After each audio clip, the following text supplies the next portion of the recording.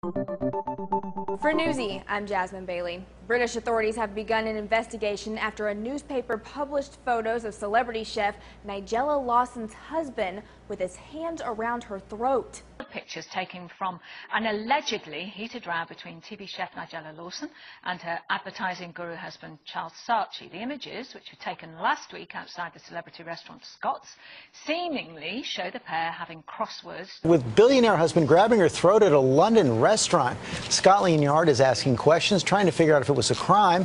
The images were first published in the Mirror Sunday paper, The Sunday People. The paper alleged Lawson was being attacked in public. Those images started a firestorm and widespread condemnation throughout the United Kingdom. 70-year-old Saatchi married 53-year-old Lawson in 2003. He told the London Evening Standard that the pictures, quote, are horrific, but gave a far more drastic and violent impression of what took place. And I held Nigella's neck repeatedly while attempting to emphasize my point. There was no grip.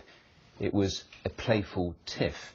Lawson has not commented on the incident or the pictures, but domestic violence experts aren't buying her husband's version of the events. Domestic violence is rarely a one-off incident, and abusers tend to minimize their behavior. They may try and blame it on things like alcohol or stress, or say it's just a marital tiff. London police are investigating to establish the facts to determine whether a formal investigation is necessary. They have not received any criminal complaints and no arrests have been made. For Newsy, I'm Jasmine Bailey.